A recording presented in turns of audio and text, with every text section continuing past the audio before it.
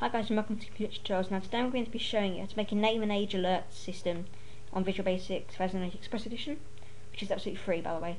Now it's continuing from Hello World tutorial, which was yesterday.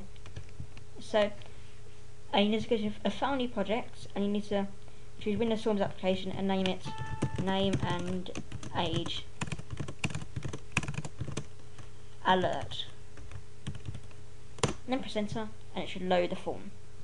So you need, so from this sidebar you need one button, you need two labels, um, yes, and you need a text box, where the text, ah, text box here, so two text boxes.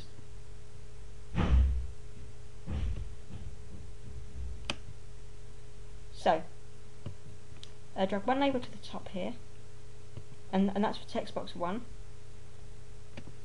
and uh, label 2 is text box 2 and the bottom one make that a bit bigger space.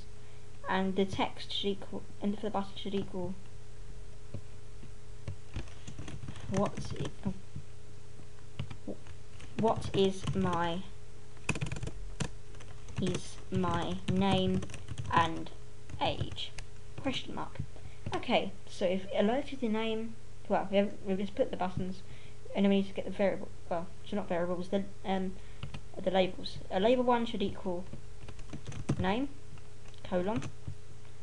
A label 2 should equal age, colon. So, first of all, we're going to need to create the variables. So, on, on the button 1 dot, um, on the click of the button, just, uh, just double click on the button, and you need to type in dim name as string. Then press enter. And, this, and we're going to say name equals and then use two speech marks together which indicates that it's a null value. And do the same for the a dim age as and you tell you to say integer and and um, make sure it's integer and you shouldn't really use capitals by the way. That's it can cause a problem later on. So you need to say also you need to say age equals then you do two speech marks together. Okay now we, um, we need to go get this thing and we say now I'm just doing this that, that's just um, to make sure the variables are blank. Now you just say age equals text box one dot text. No, so that's not right. So you need to say name equals name equals text box one dot text. Age equals text. And then oh, this is different. Sorry, I mean to say. Um, now the age you need to say a capital C, capital I, NT, open brackets, text box 2 dot 2 dot text. Close brackets. Then we need to alert it so you can just you can make you can make a new variable say dim alert as string. And you say alert equal you say alert equals then you just say open speech mark say your name is colon space, then you close the speech marks, and you do an ampersand, name, then you need to say another ampersand,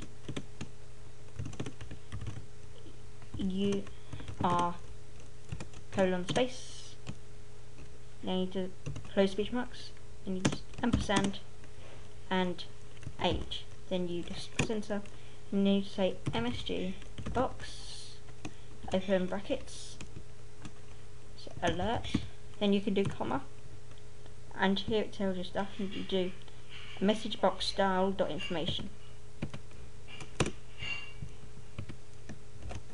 Press enter.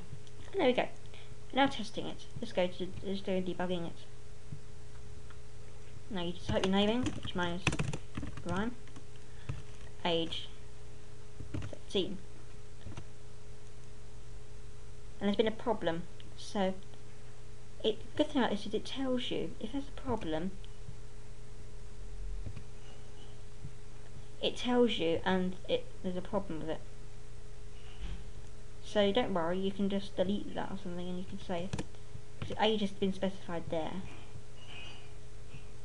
And there we go, let's try it off again. And that should have been fixed. So, Ryan, age 13, to my name and age. Your name, your name is Ryan, you are 13. you've got the information thing there.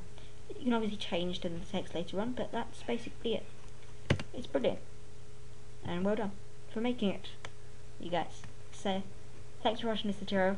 Oh, by the way, I've meant to say, if you want to build a program, which I don't recommend you do, you can go to build up here and build name and age alert. So, thank you for watching this tutorial. Tutorial signing out. Please rate 5 stars, comment and subscribe. Thanks so much for watching and goodbye.